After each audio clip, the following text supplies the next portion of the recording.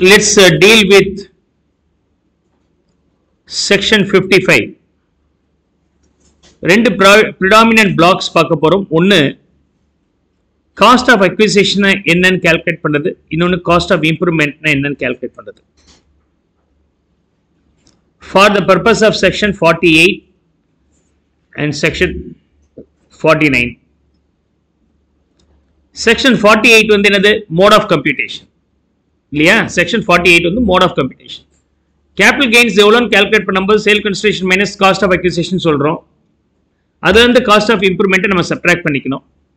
So as per section forty eight sale consideration minus cost of acquisition minus cost of improvement then you get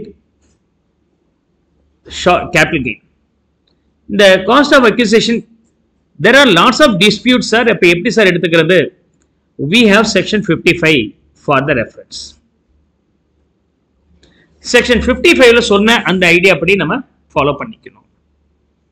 Let me first finish of cost of acquisition then later we have to go for cost of improvement இதை முத பார்ப்போம். சரி முத cost of improvement முடிச்சிடும் அது சின்னது.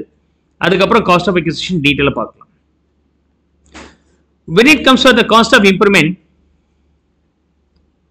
ரெண்டு பார்ட்டாக பிரிக்கிறோம் ரெண்டு பார்ட்டாக நம்ம பிரிக்கிறோம். ஓகே நம்பர் ஒன் இன்டான்ஜிபிள் அசட்ஸாக இருக்கக்கூடிய விஷயங்கள். நம்பர் ஒன் இன்டான்ஜிபிள் அசட்ஸாக இருக்கக்கூடிய விஷயங்கள். அது என்னென்ன? ஒன்னு goodwill goodwill of a business of a business or right to manufacture right to manufacture produce or procure produce or procure any article or procure any article or right to carry on right to carry on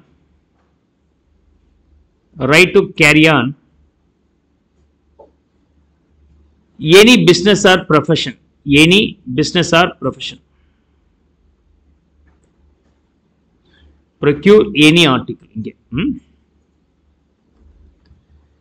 in this case cost of improvement is equivalent to nil எடுக்கக்கூடாது okay you cannot take nothing will be there cost of improvement being nil intangible form எதுவா இருந்தாலும் சரி cost of improvement is nil ஆக்சுவலா இதில் நீங்கள் கவனிக்க வேண்டியது என்னன்னா இம்ப்ரூவ்மெண்ட்ல இங்க ப்ரொஃபஷன் சேரல goodwill of a business or ப்ரொஃபஷன்ல profession சேரல right so goodwill of a business right to manufacture produce procure any article right to carry on any business or professions for that cost of improvement will be nil zero will be zero all other assets second. For other assets other assets. Incurred before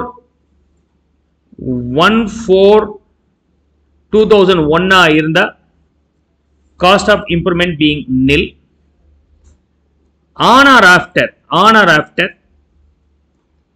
one four two thousand ஒன்னாக இருந்தால் actually என்ன spend பண்ணீங்களோ அதை எடுத்துக்கலாம். அதுதான் section forty எயிட்டில் computation போடும்போது cost of improvement before one four two thousand ஒன்னாக இருந்தால் ஸ்கிப் பண்ணுங்கன்னு சொன்னோம் இல்லையா?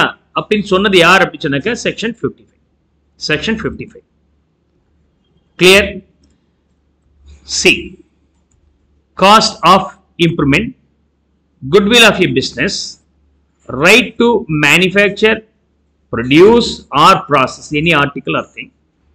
Right to carry on any business or profession ரெண்டும் சேர்ந்து வருது. இங்கே வந்து பிசினஸ் டேர்ம் மட்டும்தான் இருக்கு. ரைட் அதனால் Capital assets are null, actual cost will be taken. So here nil. And in case of other capital assets, on or after 14001 are the actual, otherwise uh, nil will be taken. Nil will be taken. That's summarized here in short short form. Is that okay? Come on, make a note of it.